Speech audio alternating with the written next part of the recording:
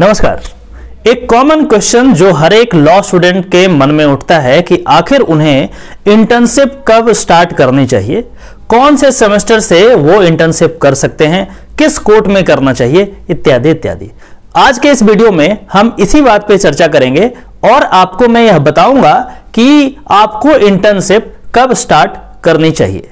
चाहे आप पाँच साल की बी एल कर रहे हो या फिर तीन साल की एल बी कर रहे हो, इससे फ़र्क नहीं पड़ता।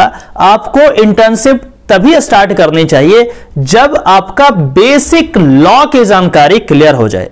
अब आप कहेंगे कि, सर बेसिक लॉ की जानकारी का मतलब क्या होता है? बेसिक लॉ की जानकारी का मतलब यह हुआ कि वैसे सब्जेक्ट जो बहुत ही कॉमन है और आपको जानना ही चाहिए। जैसे यदि हम क्रिमिनल लॉ की बात करें तो क्रिमिनल लॉ में आईपीसी इंडियन पिनल कोड दूसरा है सीआरपीसी क्रिमिनल प्रोसीजर कोड और तीसरा है एविडेंस लॉ जो कि लॉ ऑफ़ कोर्ट भी कहा जाता है।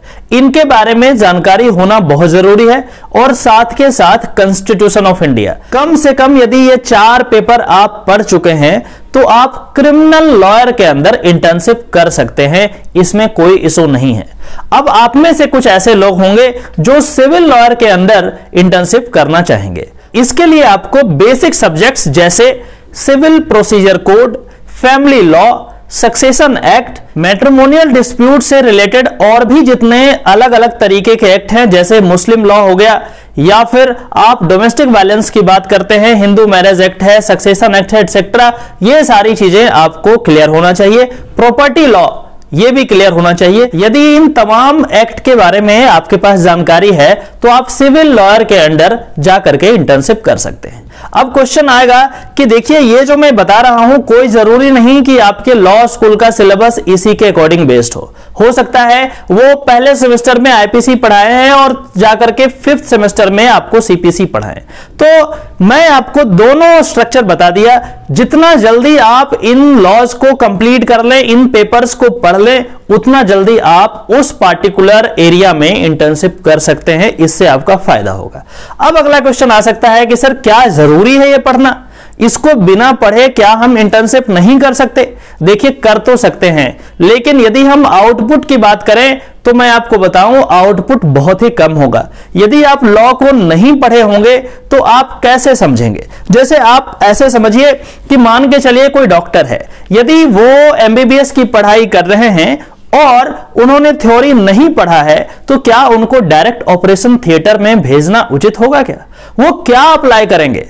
अनलेस उनके पास कोई जानकारी नहीं होगी, उनके पास थ्योरी नहीं होगी, उनके पास थ्योरेटिकल नॉलेज नहीं होगी, वो किस तरीके से उन तमाम नॉलेज को वो ऑपरेट करते समय यूज़ करेंगे? नहीं कर सकते।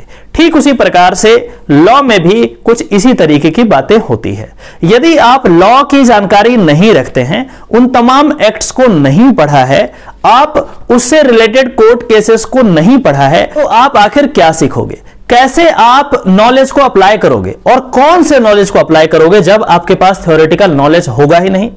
तो मैं आपको सजेस्ट करता हूँ कि आप थोड़ा पेशेंस रखिए और इन तमाम पेपर्स को जब तक आप नहीं पढ़ें, तब तक इंटर्नशिप करना एक तरीके से बेवकूफ़ी हो सकती है, क्योंकि आपके द्वारा जो मेहनत किया जाएगा इंटर्नशिप में, उसके प्रोपोर्शनल वे में आपको आउटपुट कभी नहीं मिल सकता है। तो पहले आप इंश्योर कर लें कि इन तमाम सब्जेक्ट्स को आप अच्छे से पढ़ लिए हैं।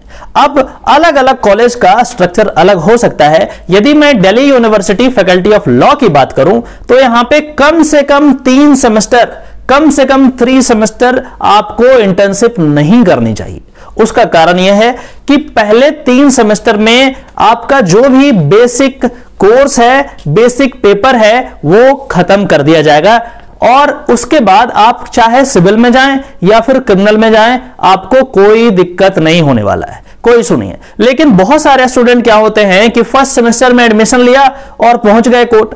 इससे कोई खास फ़ायदा आपको नहीं होने वाला है। मैंने तर्क दे दिया है कि आखिर क्यों ऐसा होता है। अब इस बात को आपको समझना पड़ेगा कि ये जो लॉ की बुक्स होती है, लॉ की जानकारी होती है अलग अलग तरीके के एक्ट्स होते हैं। ये एक लॉयर का टूल है। वो आपका हथियार है, औज़ार है। और यदि उन हथियार के बारे में आपको जानकारी नहीं है तो आप उसका यूज़ कैसे करोगे? यह कहीं ना कहीं प्रॉब्लमेटिक होगा। तो थोड़ा पेशेंस रखिए। आप पहले इन तमाम पेपर्स को ढंग से पढ़ लीजिए और उसके बाद आप इंटर्नशिप कीजिए।